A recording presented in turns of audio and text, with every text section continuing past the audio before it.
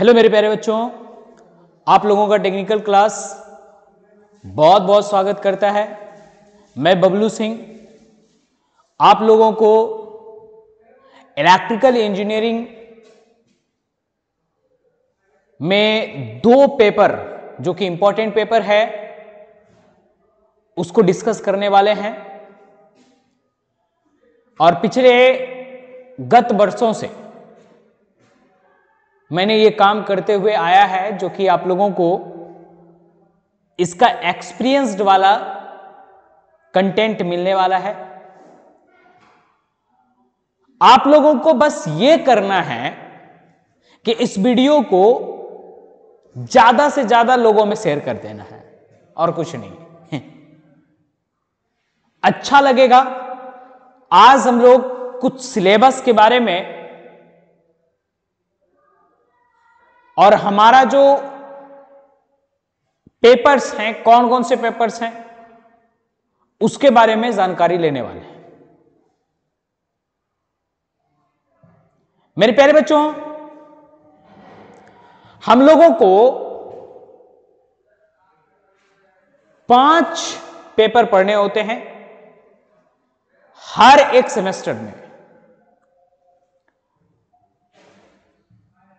जो कि third semester में जितने भी बच्चे इलेक्ट्रिकल के हैं, उसको पाँच पेपर है। पहला है introduction to electric power generation system इसके लिए आपको अलग टीचर मिलेंगे। इलेक्ट्रिकल सर्किट इसके लिए आपको अलग टीचर मिलेंगे। इलेक्ट्रिकल एंड इलेक्ट्रॉनिक्स मेज़रमेंट ये जो आपको सब्जेक्ट में दिख रहा है, ये मेज़रमेंट का सब्जेक्ट और साथ में जो चार नंबर में सब्जेक्ट है मोटर्स जिसको हम लोग मशीन के नाम से जानते हैं, ये दो पेपर मेरे नाम में रहेगा, अर्थात हम उसको डील करेंगे। और ये जो पेपर है ये पेपर हम पढ़ाएँगे, अर्थात बबलू सर पढ़ाएँगे आपका। चाहता आप लोगों का पसंदीदा, है ना? है भी, और बहुत दिनों से मैंने इस पे काम करा है। इसलिए आप लोग एडमिशन के रूप में हमेशा हम यही बात कहते हैं, ज़्यादा से ज़्यादा कंटेंट अगर दी लेना है तो टेक्निकल क्लास बेस्ट है। मेज़रमेंट हो गया और मोटर्स हो गया एंड ट्रांसफॉर्मर्स ये दो पेपर हम डील करेंगे और ये भी अलग दूसरे टीचर लेंगे। तो दो पेपर मेरा है और फिर उसके बाद अलग से तीन टीचर अलग होंगे। मतलब अर्थात चार टीचर जो है आपका इस सिलेबस को खत्म करने वाले हैं। और चार टीचर आप लोग जानते हैं कि अलग अलग अगर दी टीचर आपको सजेस्ट करे हर एक ब्रांच के लिए या एक ही ब्रांच के लिए तो कितना ज़्यादा इंपॉर्टेंस होता है उसका, आप समझ सकते हैं। आप लोग बच्चे तो हैं ही नहीं।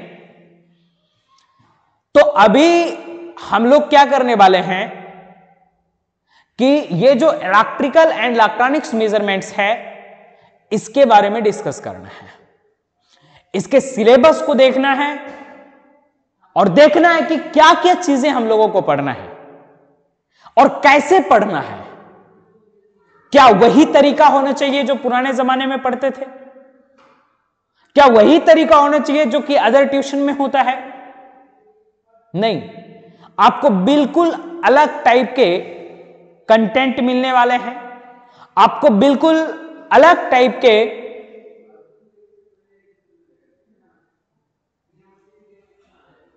प्रक्रिया से गुजरना पड़ता है। यह चीज़ हम लोग देखेंगे इस सेमेस्टर में। आप एक बार टेक्निकल क्लास के अंदर जुड़ करके देखें। आपको मज़ा आएगा और इतना मज़ा आएगा कि आप कह नहीं सकते। तो चलिए हम लोग अब सिलेबस के बारे में बात करते हैं। देखिए, पढ़ाने का कोई भी पढ़ा देता है। एक होता है सिलेबस खत्म करना और एक होता है सिलेबस को ही खत्म कर देना।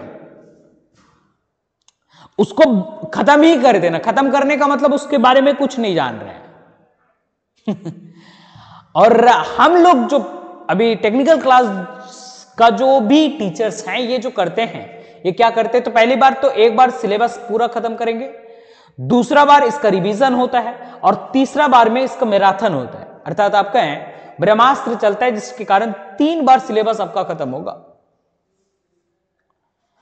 यह सिलेबस कैसे खत्म होता है, कितने दिन में होगा तो मेन सिलेबस का जो खत्म होना होता है, वो 20 से 25 दिन पहले आपका हो जाएगा। एग्ज़ाम के 20 से 25 दिन पहले खत्म हो जाएगा सिलेबस। और जो रिवीजन होता है, वो 10 दिन 12 दिन 15 दिन, ऐसे करके होते ठीक है तो ये चीज़ें आप लोगों को यहाँ पर मिलने वाले हैं। अब हम लोग आज ये देखेंगे, इस सेशन में कि इलेक्ट्रिकल एंड इलेक्ट्रॉनिक्स मेज़रमेंट में क्या क्या चीज़ें पढ़नी है? क्या चीज़ें हमें देखना है? है ना? क्या सिलेबस है? इस चीज़ के बारे में हम लोग बात करने वाले हैं। यह आपका मेज़रमेंट का टॉपिक है। सत्तर नंबर का आता है, आप लोग जानते भी है सारा चीज़, ये सब बातें आप लोगों को पता हो। इसमें छह यूनिट है। और इस छह यूनिट में क्या क्या पढ़ना है? हमें देखना है, ठीक है? पहला है फंडामेंटल्स ऑफ़ मेजरमेंट्स अर्थात मेज़रमेंट सबसे पहली बात आता है मेज़रमेंट होता क्या है? कहते किसको है? उसका बेसिक क्या क्या चीज़ें पढ़नी होती है, ये सारी चीज़ें हम लोगों को पढ़ना है। तो मेज़रमेंट एक ऐसा सब्जेक्ट है इलेक्ट्रिकल इंजीनियरिंग का, और इलेक्ट्रॉनिक्स इंजीनियरिंग का भी इलेक्ट्रॉनिक्स में भी मेज़रमेंट हमें पढ़ाएँगे और इलेक्ट्रिकल में भी मेज़रमेंट हमें पढ़ेंगे यह एक ऐसा सब्जेक्ट है जो किसी भी चीज़ को कंपेयर करने में, एक ही तरह के चीज़ को कंपेयर करने में मदद करता है। इसमें क्या क्या पढ़ना है? तो मेज़रमेंट का मतलब समझ में आ गया होगा कि मेज़रमेंट जो है ना, ये कंपैरिजन है। Measurement is nothing but comparison और वो भी सेम काइंड का सेम प्रकार का फ़िज़िकल क्वांटिटी के साथ। जैसे अब बोलोगे कि ये सर क्या बोल रहे हैं? सेम टाइम सेम प्रकार का। मेज़रमेंट का मतलब आप समझे कि मेज़रमेंट मींस कंपैरिजन हो गया।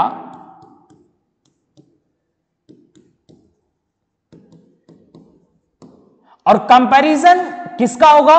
तो सेम टाइप के फ़िज़िकल क्वांटिटी सेम टाइप का फ़िज़िकल क्वांटिटी जैसे, अगर यदि मास है तो उसको मास के साथ ही कंपैरिजन करेंगे। जैसे ज़ीरो किलोग्राम अगर हम यहाँ लिखें, और यहाँ दस केजी लिखें तो सेम प्रकार के क्वांटिटी को लिखते हैं। या सेम तरह के मेज़रमेंट का मतलब होता है कंपैरिजन कंपैरिजन का मतलब होता है तुलना।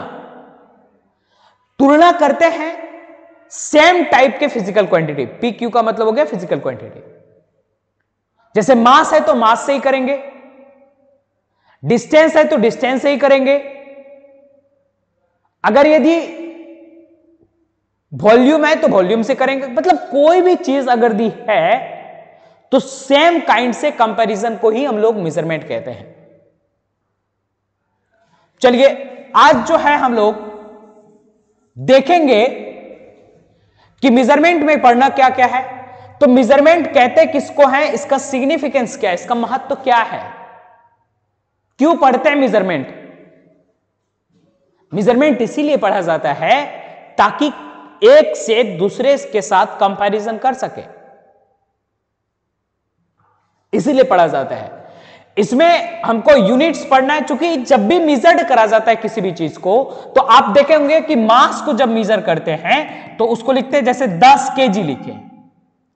तो यहाँ पर एक नंबर लिखते हैं और उसके बाद यहाँ यूनिट लिखा जाता है। तो मेज़रमेंट पढ़ने के लिए हमें नंबर और यूनिट दोनों की आवश्यकता होती है। यह नंबर जो है यह परिणाम को दिखाता है मैग्नीट्यूड को दिखाता है।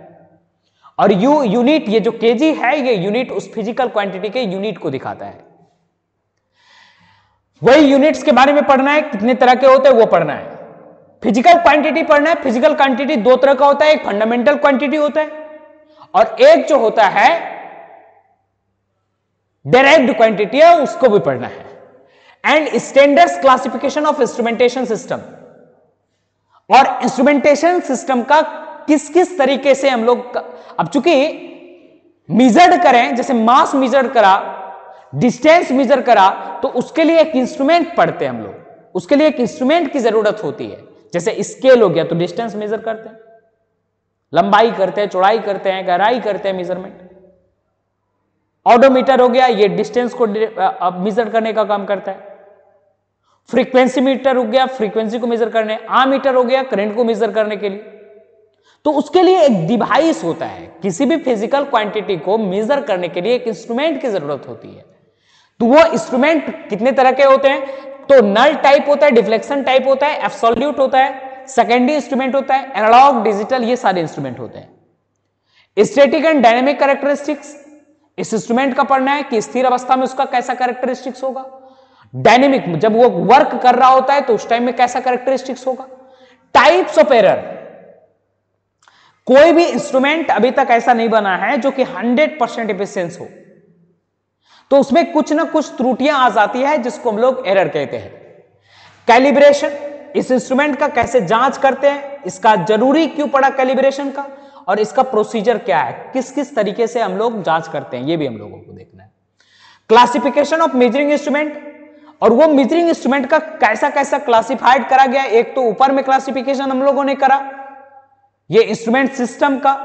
अब ये मेजरिंग इंस्ट्रूमेंट कितने तरह के होते हैं? जैसे indicating instrument recording instrument integrating instrument essential requirement of an integrating indicating instrument indicating instrument किसको बोलते हैं? तो ऐसा इंस्ट्रूमेंट जो सिर्फ़ जिस टाइम में मेजर कर रहे हैं, उस टाइम में मेजर करके हमें मैग्नीट्यूड दे तो इंडिकेटिंग इंस्ट्रूमेंट रिकॉर्डिंग जो रिकॉर्ड कर दे मतलब जब मेजर कर रहे हैं, उस टाइम में भी बताए, और जब मेजर नहीं भी कर रहे तब फिर भी बता दे तो उसको रिकॉर्डिंग इंस्ट्रूमेंट कहते हैं। इंटीग्रेटिंग इंटीग्रेटिंग किसको बोलते हैं? जो रिकॉर्ड करने के बाद फिर वहीं से स्टार्ट अगर दिए करे और जोड़ना स्टार्ट कर दे। जैसे आज अगर दिए हमने 20 यूनिट बिजली खपत करा, मान लो 20 यूनिट बिजली खपत करा और अगले दिन जो स्टार्ट होगा यूनिट तो ये सब जुटते चला जाएगा। तो 20.1 20.2 है ना? 20.2 इस तरह इस तरह ये जुड़ते चला जाए तो ये इंस्ट्रूमेंट भी होता है जैसे एनर्जी मीटर है तो एनर्जी मीटर इंटीग्रेटिंग इंस्ट्रूमेंट होता है। ये जोड़ते चले जाता है, जो भी क्वांटिटी है, उसको जोड़ते चला जाता है। चाहे वो ऑफ़ कंडीशन जब ये मिजर्ड कर रहा होता है, उस टाइम में भी जोड़ता है, और जब मिजर्ड नहीं करता है, चूँकि इंटीग्रेटिंग इंस्ट्रूमेंट एनर्जी मीटर वो तो लगातार मिजर करते रहता है तो वो लगातार जोड़ते चले जाता है। अगला essential requirement of an indicating instrument indicating instrument का कौन कौन सा रिक्वायरमेंट है, ये हमें देखना है। फिर जब हमने यहाँ से यहाँ तक में सिर्फ़ बेसिक पढ़ा, ये बेसिक जब खत्म कर लेंगे, तब हमें measurement of voltage and current पढ़ना है। जिसमें कि डीसी वोल्टेज में वोल्टेज को कैसे मेजर करेंगे, ये देखेंगे, और करंट को कैसे मेजर करेंगे, ये भी देखेंगे। यूनिट टू में। जैसे आमीटर है डीसी आमीटर है तो ये डीसी करंट को मेजर करने का काम करेगा। डीसी वोल्ट मीटर है, इसके basic multi range concept of loading effect and sensitivity पढ़ना है। किसका? वोल्ट मीटर का। फिर उसके बाद AC volt meter rectifier type का पढ़ना है, जो कि एसी वोल्टेज को मेजर करने का काम करता है।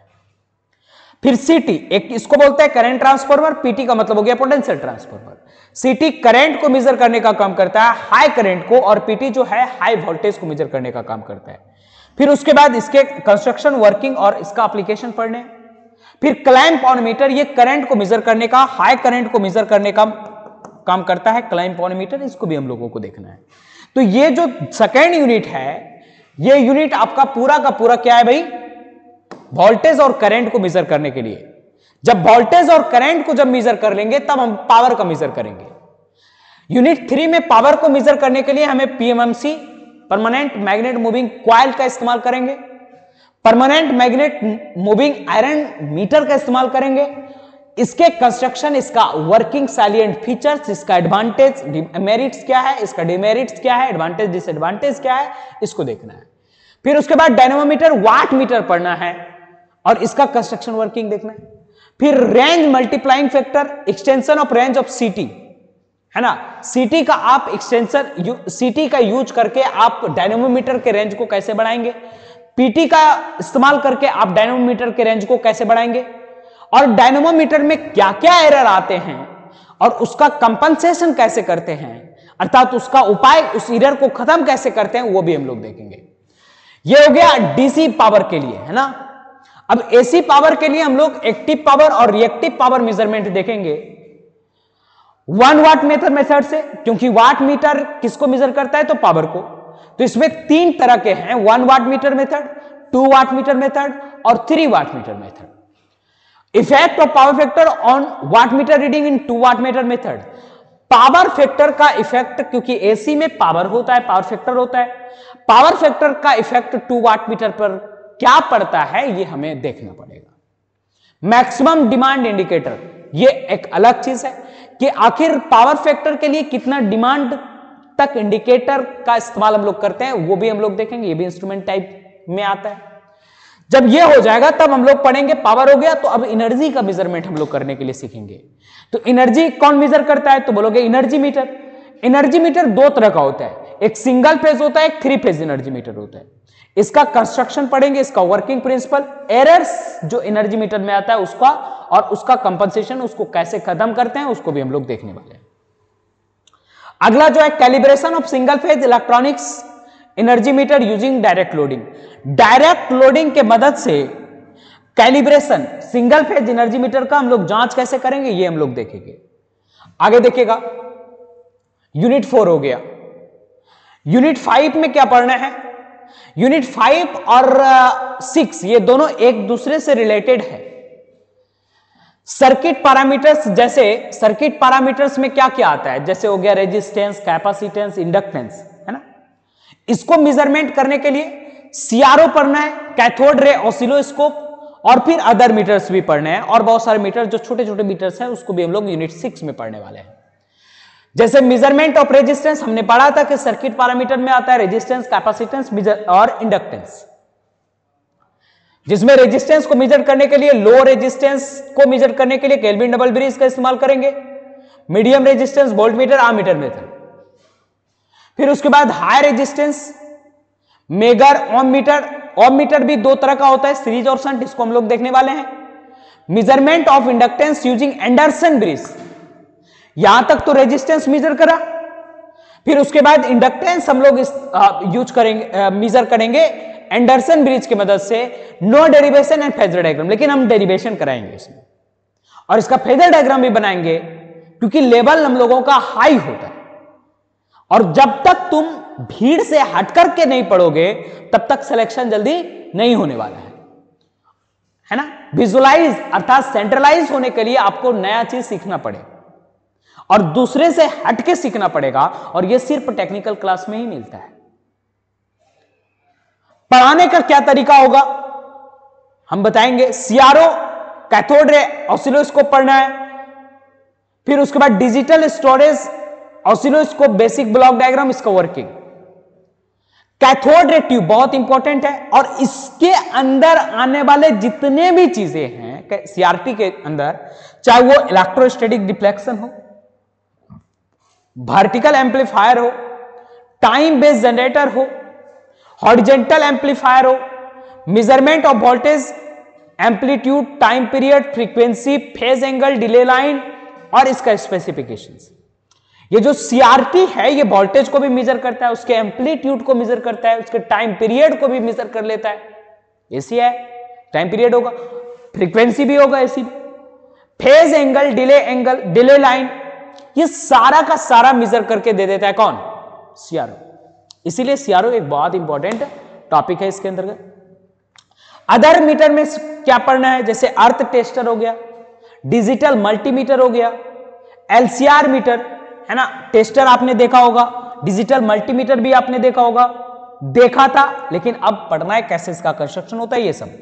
एलसीआर मीटर एलसीआर का मतलब होता है इंडक्टेंस कैपेसिटेंस और रेजिस्टेंस को मेजर करने वाला मीटर फ्रीक्वेंसी मीटर दो तरह का होता है, एक फेरोमैग्नेटिक होता है, एक वेस्टर्न टाइप होता है, ये दोनों पढ़ना है। जो फ्रीक्वेंसी को मेजर करने का काम करता है। फिर फ़ेज़ सीक्वेंस इंडिकेटर, ये क्या करता है? ये फ़ेज़ के सीक्वेंस को बताता है कि phase sequence R Y B है, बी वाई आर है है ना? वाई आर बी है, कैसा फ़ेज़ है? फ़ेज़ सीक्वेंस है, ये मेरा फ़ेज़ सीक्वेंस इंडिकेटर बताता है। तीन फ़ेज़ होता है ना R Y B B Y R Y R B N तो ये थ्री फ़ेज़ के फ़ेज़ सीक्वेंस को बताने का काम करता है फ़ेज़ सीक्वेंस इंडिकेटर नाम ही देख रहे होगा फ़ेज़ सीक्वेंस इंडिकेटर किस सीक्वेंस में फ़ेज़ है, ये इंडिकेट करके देता है। कौन? Phase sequence indicator power factor meter ये power factor meter power factor को मेजर करने का काम करता है। ये सिंगल फ़ेज़ और थ्री फ़ेज़ होता है दोनों। डायनेमोमीटर टाइप्स का पढ़ना है। वो जो डायनेमोमीटर हमने पहले बात करा था, वही सिंक्रोस्कोप। ये बैलेंसिंग बताता है किसके? जो भी चीज़ हम लोग लगाते हैं, चाहे वो सप्लाई को जनरेटर से लगाएँ तो ये बैलेंस है कि नहीं सिस्टम? ये मेरा सिंक्रोस्कोप बताता है। फिर ट्राइबेक्टर मीटर, ये भी एक प्रकार का एनर्जी मीटर ही है। ये भी हम लोग देखेंगे। सिग्नल जनरेटर सिग्नल को कैसे जनरेट करा जाता है, इसका नीट क्यों पड़ा इसका वर्किंग क्या है, इसका बेसिक ब्लॉक डायग्राम। और एक होता है फ़ंक्शन जनरेटर। फ़ंक्शन जनरेटर भी हम लोग इसका नीट, इसका वर्किंग और basic block diagram. Function of symmetry. ठीक है? तो ये छह यूनिट है बच्चों, और छह का छह यूनिट हम लोगों को अच्छे से पढ़ना है। ठीक है? तो थैंक यू। मिलते हैं नेक्स्ट वीडियो में। और हो सके तो जल्दी से जल्दी आप लोग एडमिशन लेने की कोशिश करें और इस वीडियो को अपने दोस्तों के साथ शेयर करें। क्या पढ़ना है, क्या नहीं पढ़ना है, ये चीज़ आप लोग देख चुके हैं। अब नेक्स्ट टॉपिक में हम लोग क्या करेंगे? नेक्स्ट वीडियो में हम लोग इसके सिलेबस के बारे में एक एक करके धीरे धीरे स्टार्टिंग से हम लोग पढ़ने की कोशिश करेंगे। इसका बेसिक पढ़ेंगे पहले, फिर उसके बाद। अब पढ़ाने का क्या तरीका होगा? सर, ये एक बार बता दीजिए। कैसे आप पढ़ाएँगे, सर? बात तो हमने मान लिया कि हम लोग एडमिशन ले रहे हैं। बोले, बिल्कुल। लेना भी चाहिए। अच्छे ट्यूशन में एडमिशन लेना ज़रूर। सुनिएगा, कैसे हम लोग पढ़ाने का क्या टैक्टिस होगा मेरा? सबसे पहले सब्जेक्टिव जो कि मेरा टॉपिक्स होंगे, वो पढ़ाएँगे। वो टॉपिक जैसे मान लीजिए कि मैंने एरर पढ़ाया।